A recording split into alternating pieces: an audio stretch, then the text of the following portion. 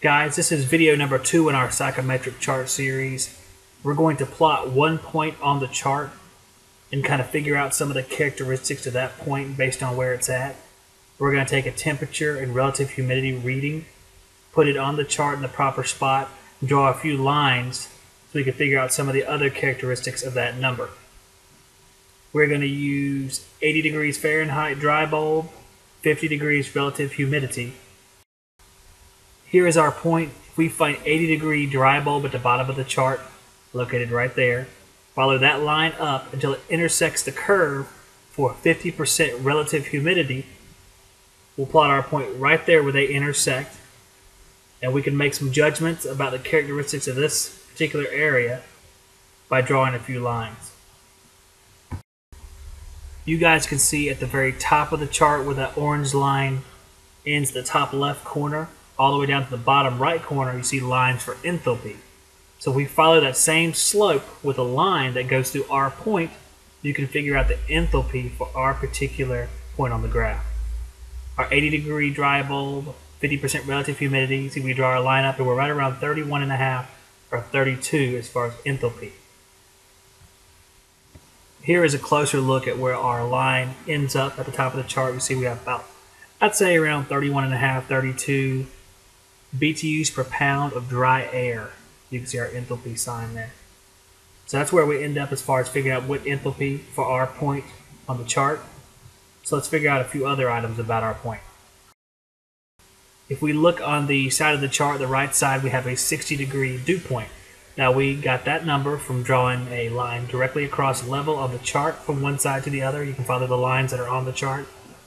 From our point to the right side dew point measurement. So we're 60 degrees, meaning at 60 degrees, our air mass can no longer hold the moisture content and it will start condensing out.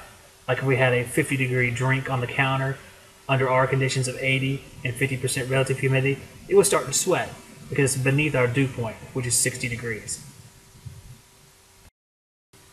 Here is a closer look at the side of the chart where we have our dew point. You see our 55, 60, 65, 70, 75.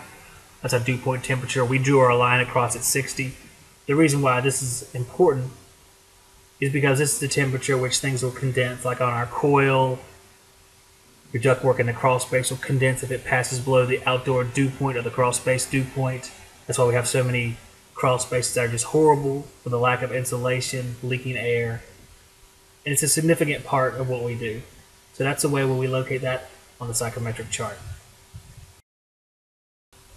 If we extend the line across like we were doing the dew point, we get to vapor pressure. We're not going to go into that a whole lot, but that is just the way that we're going to locate that number. Vapor pressure is very important for CFM conversion we'll do later.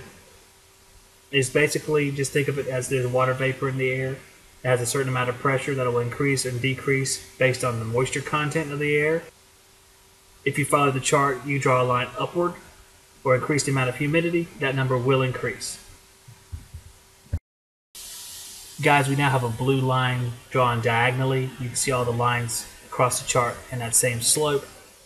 That follows our measurement for how large of a volume is one pound of dry air. How many cubic feet? So we can figure out how many cubic feet our pound of dry air at that temperature, that point on the chart, how much area does that occupy? The higher the amount of latent and sensible energy in the air will increase the amount of space one pound of dry air will consume. If you think about temperature as kinetic energy, molecules moving faster and faster, you can see how as things increase in temperature, they would take more room. So as the chart goes from left to right, the amount of volume of one pound of dry air will increase. Knowing that if you go upwards on the chart, you'll be increasing the amount of water in the air. If you go to the right, you're increasing the dry bulb temperature, sensible heat in the air. Both of those changes increase the specific volume of the air per pound. You see our 14 cubic foot volume per pound of dry air. As we go to the right and upward, that will increase. I think that's one of the more difficult things to understand about the chart. But just think about it as excited particles.